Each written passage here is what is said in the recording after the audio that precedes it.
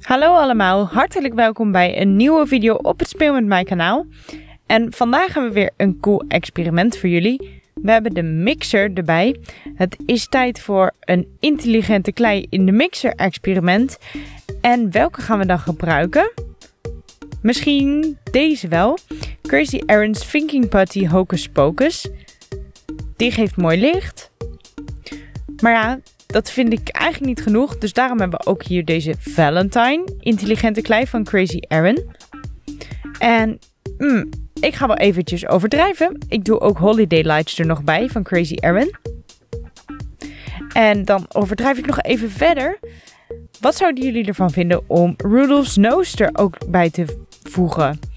Dat zijn allemaal van die limited editions, van die speciale edities die je maar een tijdje kunt krijgen. En ik ga die vandaag mengen met elkaar. Kijken of ik deze open krijg. Zo. Nu heb ik hem. Ook dit is een erg coole kleur. Maar ik denk dat dit wel genoeg is of misschien toch niet.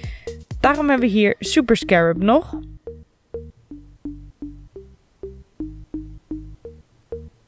Hmm, blijft een beetje vastplakken aan de deksel. Het is wel een beetje irritant.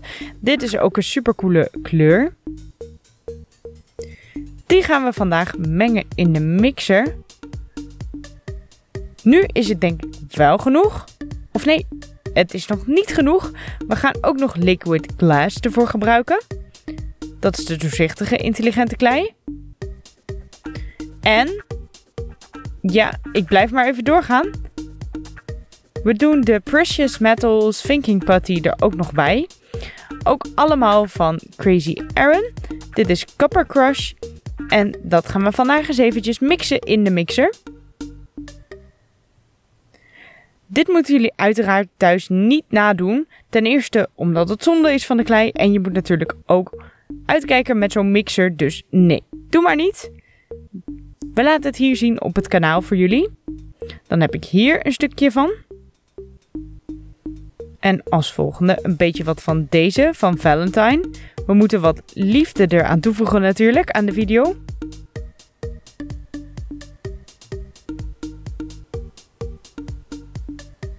Deze is gewoon heel erg uh, rood. Er staat ook nog eens bij uh, to and from. Dus je kunt dan opschrijven voor wie die is en van wie die is. Dan hebben we die van Rudolph's Nose. Daar gaan we wat meer van gebruiken. Zo hier.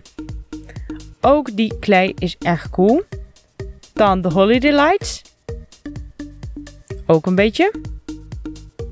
Zo. Hup, erin ermee. En dan hebben we hier Super Scarab. Ook die moet er nog bij.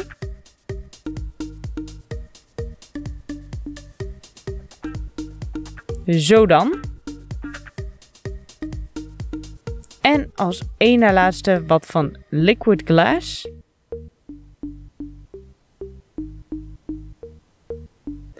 En deze voelt best wel raar aan.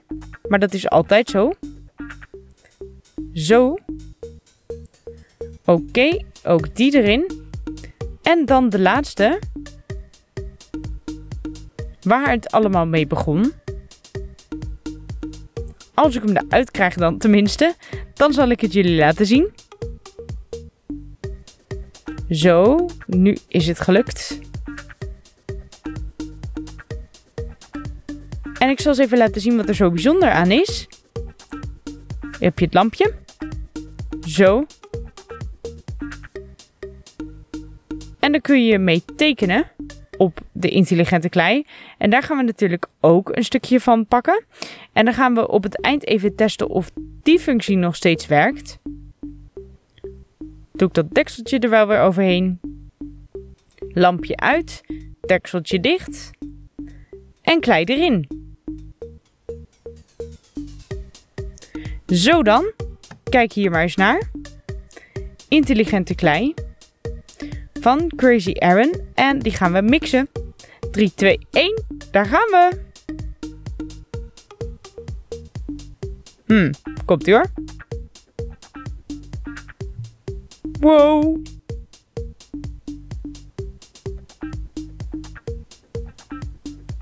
Je ziet de hele tafel bewegen.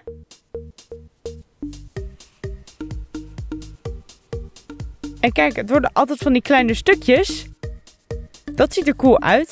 Het is net alsof het van die kleine steentjes zijn. Als je het gaat mixen. Maar we gaan nog eventjes verder.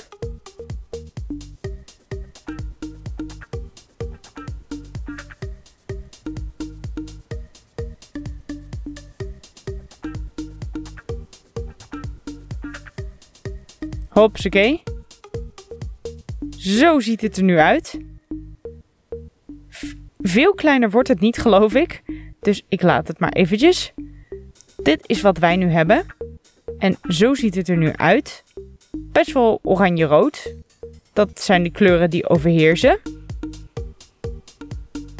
Dat ziet er interessant uit. En dat kunnen we nu dan gaan kneden. Het is gewoon een soort van confetti bijna. Confetti klei of zo. Zo, nu ga ik het eens eventjes mengen.